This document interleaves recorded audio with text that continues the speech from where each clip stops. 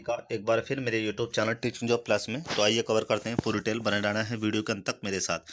Channel पर अगर पहली बार विज़िट किया है तो आज ही मेरे चैनल को सब्सक्राइब ज़रूर कर लें, ताकि जैसे कोई नोटिफिकेशन है उन सभी की अपडेट आप सभी को मिलती रहे। क्योंकि मेरे चैनल के माध्यम से आप सभी को गवर्नमेंट और प्राइवेट कॉलेज या यूनिवर्सिटी में जो असिस्टेंट प्रोफेसर की वैकेंसी आएँगी उन सभी की अपडेट मेरे चैनल के माध्यम से आप सभी को मिलने वाली है।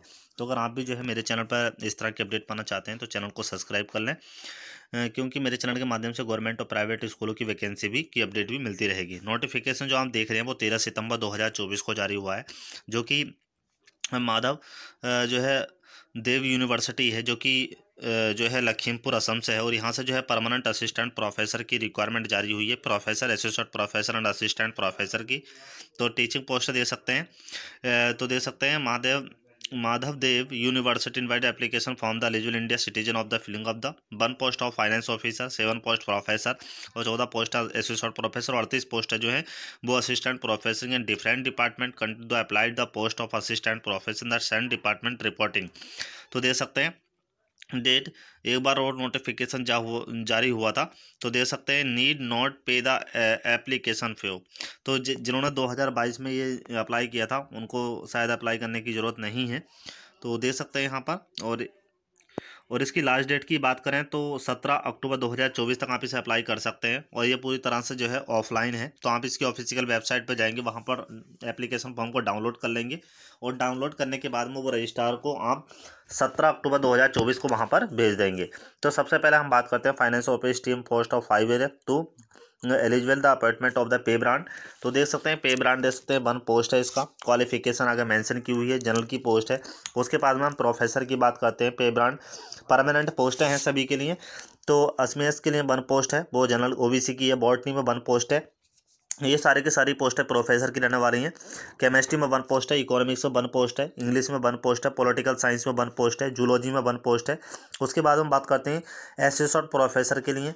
तो पे ब्रांड दे सकते हैं। थर्टी ए के हिसाब से अस्सी में टू पोस्ट हैं बॉटनी में टू हैं केमिस्ट्री में टू पोस्ट हैं और इकोनॉमिक्स में टू पोस्ट है। इंग्लिश में टू पोस्ट है पॉलिटिकल साइंस में टू पोस्ट हैं जूलॉजी में टू पोस्ट हैं और अस्सी में फोर पोस्ट है।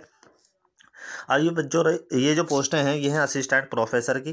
तो असमियाज में फोर पोस्ट हैं बॉटनी में सिक्स पोस्ट असिस्टेंट प्रोफेसर की केमिस्ट्री में फाइव पोस्ट हैं। कैटेगरी वाइज आप देख सकते हैं एक बार इकोनॉमिक्स में थ्री पोस्ट हैं एजुकेशन में वन पोस्ट है इंग्लिश में थ्री पोस्ट हैं मैथमेटिक्स में थ्री पोस्ट हैं फिलोसफी में टू पोस्ट हैं फिजिक्स में थ्री पोस्ट हैं पॉलिटिकल साइंस में थ्री पोस्ट हैं सोशोलॉजी में वन पोस्ट है जूलॉजी में फोर पोस्ट हैं। अब आपको अप्लाई कैसे करना देख सकते हैं यहाँ पर। अप्लाई आपको करना हाउ टू अप्लाई तो देख सकते हैं name of the post of category wise the post allowed the जो है roster register should with the return clear on the left top the every one तो application form the post of लिखेंगे department लिखेंगे और category लिखेंगे, और जो लिफाफे के अंदर आपको इस एड्रेस पर भेज देना द रजिस्ट्रार मादद यूनिवर्सिटी नारायणपुर डिक longs, district Lakhimpur, Assam pin code दे रखा seven eight four one six four तो इस पर भेजना है, एप्लीकेशन फ़ीस क्या रहने वाली है? देखिए, बैंक ड्राफ्ट ड्राफ्ट बनना है आपका। ये बैंक ड्राफ्ट बनेगा दो हज़ार रुपये का, जिसमें से जनरल ई डब्ल्यू एस और ओ बी सी के लिए, और पंद्रह सौ रुपये का जो फ़ीस रहने वाली है, वो एस सी एस टी के लिए रहेगी। और इसका मातादेव यूनिवर्सिटी नारायणपुर, लखीमपुर के नाम से बनेगा। State Bank of India, Narayanpur branch I F C code दे रखा है। इसके नाम से बनेगा। और जिन्होंने पहला नंबर रखा, उनको कोई जो है, नोटिफिकेशन जो पहले दे रखा है आपने, पता ही होगा आपको।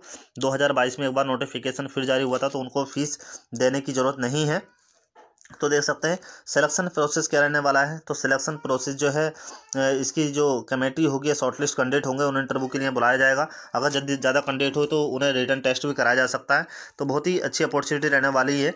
तो जो इंटरेस्टेड कैंडिडेट होंगे इंटरव्यू के समय आपको टी नहीं दिया जाएगा। उन्होंने साफ़ साफ़ लिखा है कि इंटरव्यू के समय आपको टी नहीं जाएगा। तो यूजीसी रेगुलेशन 2018 के हिसाब से ये वैकेंसी रहेगी। तो देखिए professor assistant professor and assistant professor की क्वालिफिकेशन सबकी अलग अलग होती है। तो प्रोफेसर की अगर मैं बात करूँ तो उसके लिए जो है पीएचडी हो प्लस टेन ईयर का एक्सपीरियंस आपके पास है तो आप इसमें एलिजिबल हैं। उसके बाद में असिस्टेंट प्रोफेसर एट ईयर का एक्सपीरियंस आपके पास होना चाहिए। पी डी नेट या P G fifty percent marks के साथ हो तो इसमें अप्लाई कर सकते हैं।